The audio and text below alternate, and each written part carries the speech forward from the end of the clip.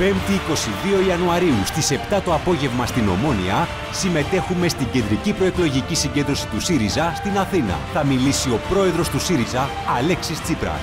Η Ελλάδα προχωράει, η Ευρώπη αλλάζει. Η ελπίδα έρχεται. ΣΥΡΙΖΑ.